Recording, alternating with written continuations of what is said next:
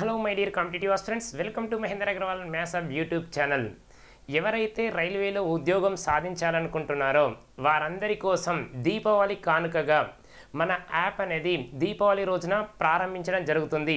అతి తక్కువ ఖర్చుతో అనుకున్నాం. ఓకేనా? అతి తక్కువ అంటే ఫోర్ నైంటీ నైన్ రూపీస్కు ఫైవ్ మంత్స్ అనేది ఇవ్వడం జరుగుతుంది. ఐదు నెలలకు ఐదు వందల రూపాయలు అనేది ఇవ్వడం జరుగుతుంది. అందులో ఏమేమి ఉంటాయంటే అరిథమెటిక్ ఉంటుంది రీజనింగ్ ఉంటుంది.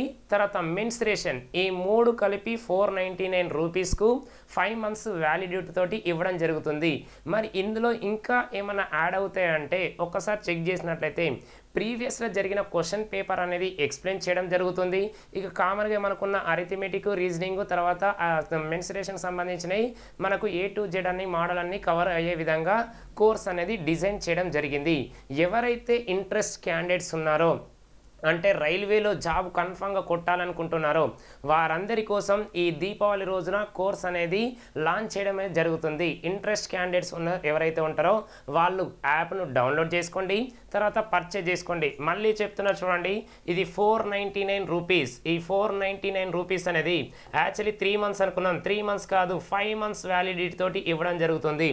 అతి తక్కువ అని ఎందుకు మెన్షన్ చేసిన అంటే మనకి ఇంతకుముందు కోర్స్ ఏ కోర్స్ చూసినా కూడా టూ థౌజండ్ లేదా త్రీ థౌజండ్ రూపీస్ ఉన్నది.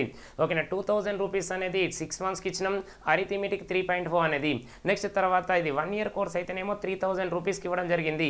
ఇందులో ఏమేమి కవర్ అయితే అంటే మళ్ళీ చెప్తున్నా అరిథమెటిక్ ప్లస్ రీజనింగ్ ప్లస్ తర్వాత మనకు మెన్సరేషన్ ఓకేనా? మెన్సరేషన్కి సంబంధించిన మొత్తం ఉంటాయి ఏ టు జెడ్ మీకు ఆల్రెడీ రైల్వేలో ఇచ్చిన సిలబస్ ప్రకారం మళ్ళీ చెప్తున్నా సిలబస్ ప్రకారం మీకు అన్ని మోడల్స్ ఇందులో కవర్ చేయడం జరుగుతుంది. ఎవరెవరికి యూజ్ అవుతుందంటే చూడండి.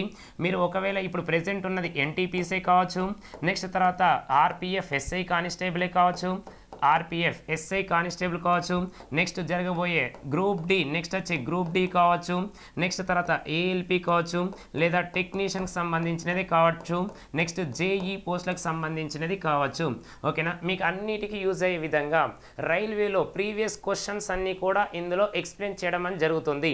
ఓకేనా? దీంతో పాటు అరిథమెటిక్ రీజనింగ్ తర్వాత మెన్సరేషన్తో పాటుగా కొన్ని ప్రీవియస్ క్వశ్చన్ పేపర్లు కూడా మనం ఇందులో ఎక్స్ప్లెయిన్ చేయడం జరుగుతుంది. Previous year question paper. ఓకేనా? పీవైక్యూస్ అంటాం కదా?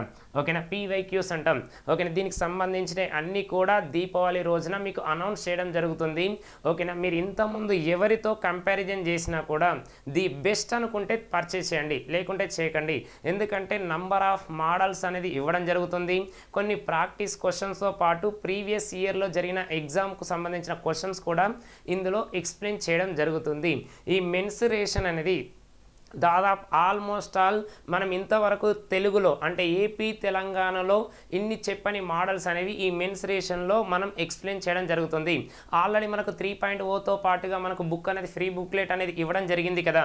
ఒక్కసారి అబ్జర్వ్ చేసినట్లయితే మనకి ఈ ఫ్రీ బుక్లెట్ అనేది అందులో దాదాపు ఫైవ్ నైంటీ సెవెన్ క్వశ్చన్స్ అనేవి మెన్సరేషన్ సంబంధించిన క్వశ్చన్స్ ఇవ్వడం జరిగింది.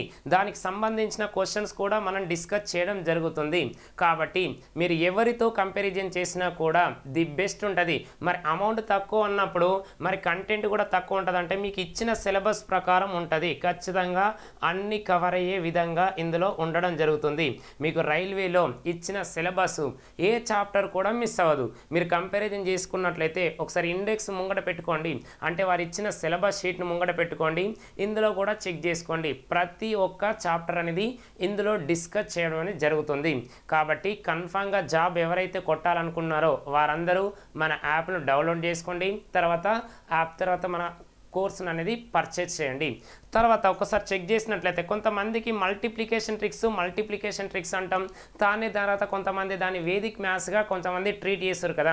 అందులో భాగంగా ఇప్పుడు రోజు కొన్ని మనము మల్టిప్లికేషన్ ట్రిక్స్ అనేది ఉపయోగించడం జరుగుతుంది. అందులో ఫస్ట్ది మల్టిప్లికేషన్ విత్ ఫైవ్ కానీ ట్వంటీ ఫైవ్ కానీ వన్ ట్వంటీ ఫైవ్ కానీ సిక్స్ ట్వంటీ ఫైవ్ కానీ త్రీ వన్ ట్వంటీ ఫైవ్ తోటి మల్టిప్లికేషన్ ఇచ్చినప్పుడు ఓకేనా వితౌట్ పెన్ తోటి ఎలా సాల్వ్ చేస్తాం?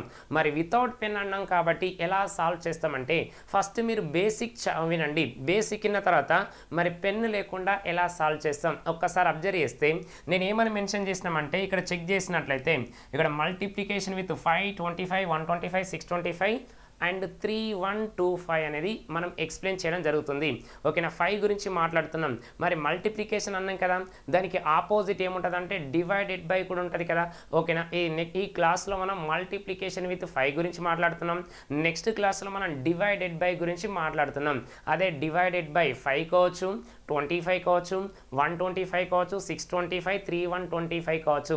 అది కూడా ఇచ్చినప్పుడు మనం ఎలా సాల్వ్ చేయాలి? వితౌట్ పెన్ అని చెప్తున్నాం. ఓకేనా? ఇచ్చినాం కాబట్టి ఫస్ట్ నేర్చుకోవడానికి ట్రై చేయండి. కొంతమంది నాన్ మ్యాథ్స్ స్టూడెంటే కావచ్చు ఒకవేళ మ్యాథ్స్ స్టూడెంట్ అయినా కూడా మల్టిప్లికేషన్ ట్రిక్స్ దగ్గర కొంచెం ఆగిపోతుంది కాబట్టి క్యాల్కులేషన్ అనేది ఫాస్ట్ రావాలి. క్యాల్కులేషన్ అనేది ఫాస్ట్ రావాలంటే మల్టిప్లికేషన్ ట్రిక్స్ అనేది ఎక్కువ నేర్చుకోవడానికి ట్రై చేయండి. ఓకే ఒక్కసారి చూసినట్లయితే దీని బ్యాక్గ్రౌండ్ స్టోరీ చూసినప్పుడు ఫైవ్ అంటే మీకు జనరల్గా రాసినప్పుడు ఏ విధంగా రాస్తామంటే మనకు ఫైవ్ ఇంటూ ఫోర్ అంటే ఈజీగా తెలుసు. ఏం తెలుసు? ఫైవ్ ఫోర్ జా ట్వంటీ ఫైవ్ ఫోర్ జా ట్వంటీ ఇది జనరల్గా ఎందుకంటే టేబుల్ అనేది వన్ టు టెన్ అనేది అందరికి వస్తాయి కాబట్టి ఫైవ్ ఫోర్ జా టెన్ టు ట్వంటీ తర్వాత ఫైవ్ టూ జా టెన్ ఫైవ్ సిక్స్ జా థర్టీ అని ఇలా రాసుకుంటూ వస్తాం కదా. దీన్నే నేను లాజిక్లా ఎలా చెప్తున్నానంటే చూడండి.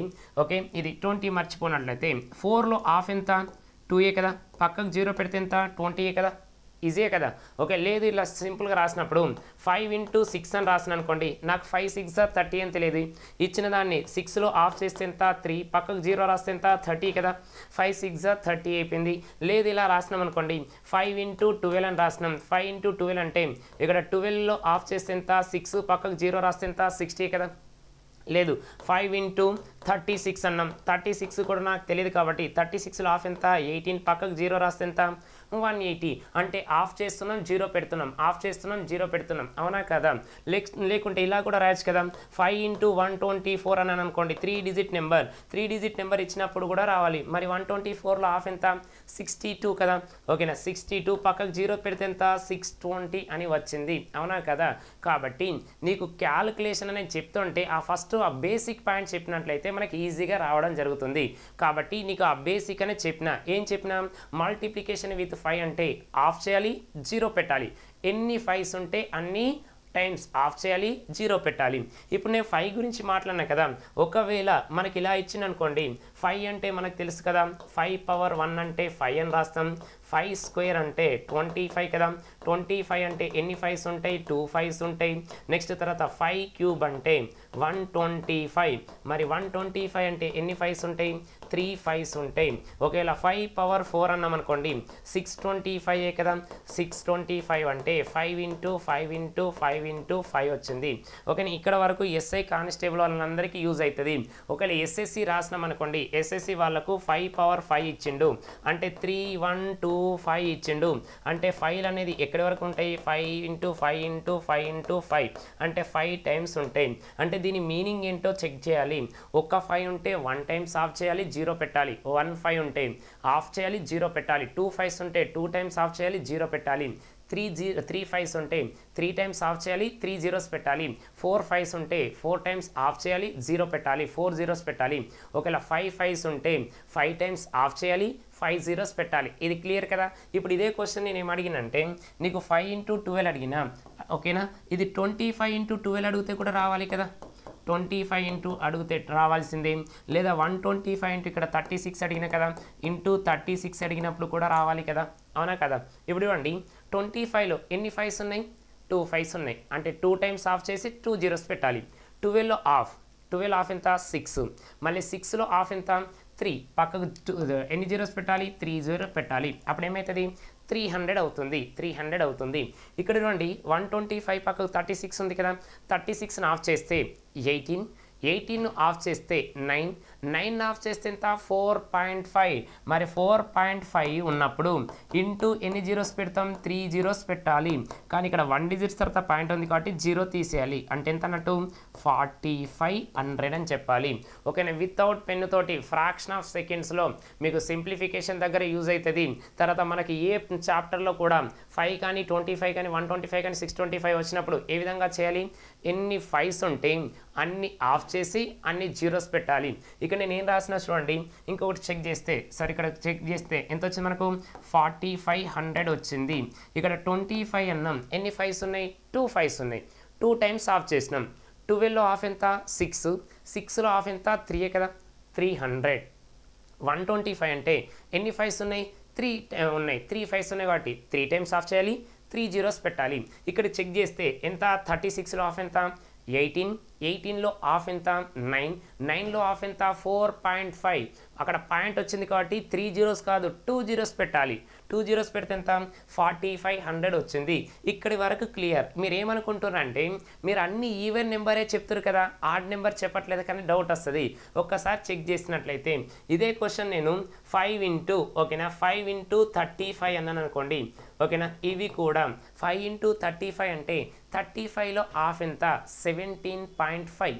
Seventeen point five అంటే పక్కకు జీరో పెడతాం కదా ఇక్కడ జనరల్గా అయితే అంత seventeen point five. Into ten అని రాస్తాం కదా మరి ఇంటూ టెన్ అనేది ఇంటూ టెన్ అనేది ఏమవుతుంది ఇది తీసేస్తే జీరో క్యాన్సిల్ అవుతుంది కాబట్టి ఏం చెప్తాం మనం? వన్ సెవెంటీ ఫైవ్ అని చెప్తాం. వన్ సెవెంటీ ఫైవ్ అని చెప్పాలి. అవునా కదా? ఇక లేదు నేను ఫైవ్ టేబుల్ వచ్చింది కాబట్టి ఫైవ్ ఫైవ్ జా ట్వంటీ ఫైవ్ పైన టూ ఫైవ్ త్రీ జా fifteen fifteen plus two seventeen. ఓకేనా? కాబట్టి అలా కూడా చేయొచ్చు? మీరు అన్ని ఈవెన్ నెంబరే చెప్తారు.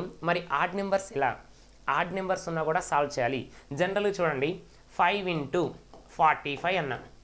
Five into forty five. Next తర్వాత twenty five into thirty one అన్నాం. ఇలా కూడా రావాలి కదా. పాయింట్ ఫైవ్ వస్తాయని భయపడద్దు. ఎందుకంటే నువ్వు ఈవెన్ నెంబర్ నేర్చుకోవాలి at the same time odd number ఇచ్చినప్పుడు కూడా మనం సాల్వ్ చేయాలి. అవునా కదా? ఫస్ట్ చూడండి ఇక్కడ ఫైవ్ అన్నాం కాబట్టి ఏం చేయాలి? ఫార్టీ ఫైవ్లో ఆఫ్. ఫార్టీ ఫైవ్లో ఆఫ్ ఎంత? ట్వంటీ టూ పాయింట్ ఫైవ్ కదా. కాబట్టి ఇగో ట్వంటీ టూ పాయింట్ ఫైవ్ అంటాం.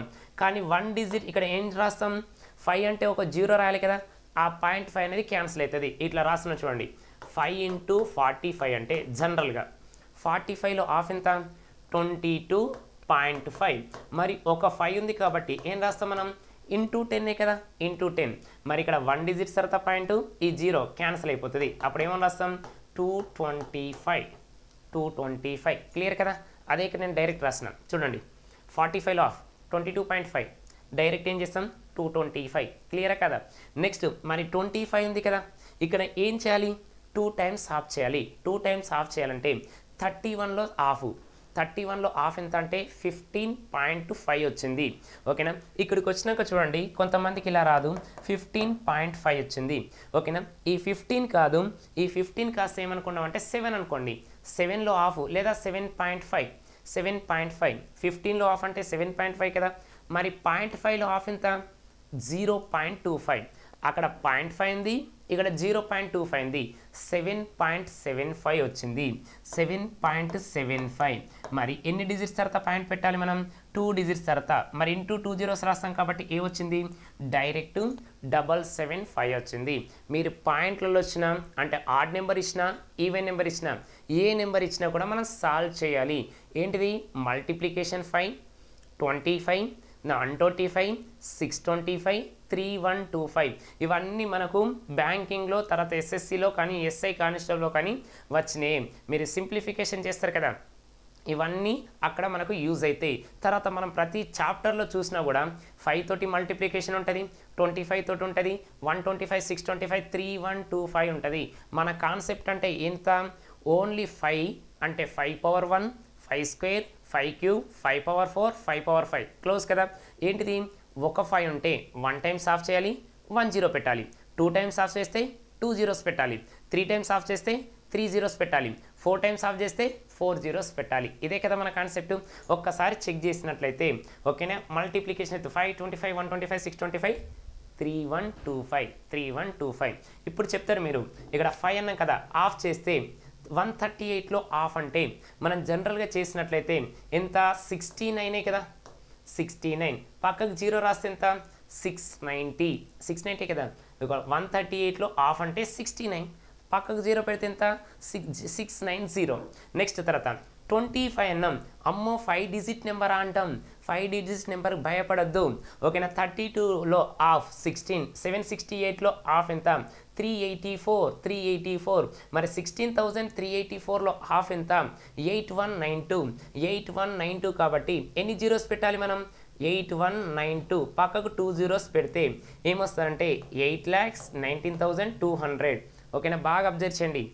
Thirty two thousand seven sixty ఎయిట్లో ఆఫ్ అంటే ఎంత? Sixteen thousand three eighty four. మరి సిక్స్టీన్ థౌజండ్ త్రీ ఎయిట్ ఫోర్లో ఆఫ్ ఎంత? Eight one nine two. నువ్వు టూ టైమ్స్ ఆఫ్ చేసావు కదా? మరి టూ జీరోస్ పెట్టేసాయి. క్లియరా లేదా? అయిపోయింది. నెక్స్ట్ ఇక్కడికి వెళ్ళి చెక్ చెక్ చేస్తున్నాం. మరి వన్ ట్వంటీ ఫైవ్ అన్నాం కదా? మరి వన్ ట్వంటీ ఫైవ్ అంటే ఎన్ని ఫైవ్స్ ఉన్నాయి? త్రీ ఫైవ్స్ ఉన్నాయి. అయితే మనం ఏం చేయాలి? త్రీ టైమ్స్ ఆఫ్ చేసి త్రీ జీరోస్ పెట్టాలి. బాగా అబ్జర్వ్ చేయండి. మరి ఎయిట్ వన్ నైన్ టూలో ఆఫ్ ఎంత? Four zero ninety six. Four zero ninety six. మళ్ళీ మళ్ళీ ఆఫ్ చేస్తే ఏమవుతుంది two zero forty eight. Two zero forty eight. మళ్ళీ ఆఫ్ చేస్తే ఏమవుతుంది one zero two four. One zero two four. నువ్వు ఎన్ని టైమ్స్ ఆఫ్ చేసావు? Three times. మరి త్రీ జీరోస్ పెట్టేసాయి. క్లియర్ కదా? మరి ఎంత అన్నట్టు ten lakhs twenty four thousand hundred. ఓకేనా? Ten lakhs twenty four thousand answer అనేది వచ్చింది. మీ యొక్క ఆన్సర్ ఇక్కడ రాసిన కదా సిక్స్ ట్వంటీ ఫైవ్ మరి సిక్స్టీ ట్వంటీ ఫైవ్ అంటే ఎలా ఉంటుంది? ఫైవ్ పవర్ ఫోరే కదా. మరి ఫైవ్ పవర్ ఫోర్ అంటే ఫైవ్ ఫోర్ టైమ్స్ ఆఫ్ చేయాలి ఫోర్ జీరోస్ పెట్టాలి. ఓకేనా మీ యొక్క ఆన్సర్ను కింద కామెంట్ రూపంలో తెలియచేయండి.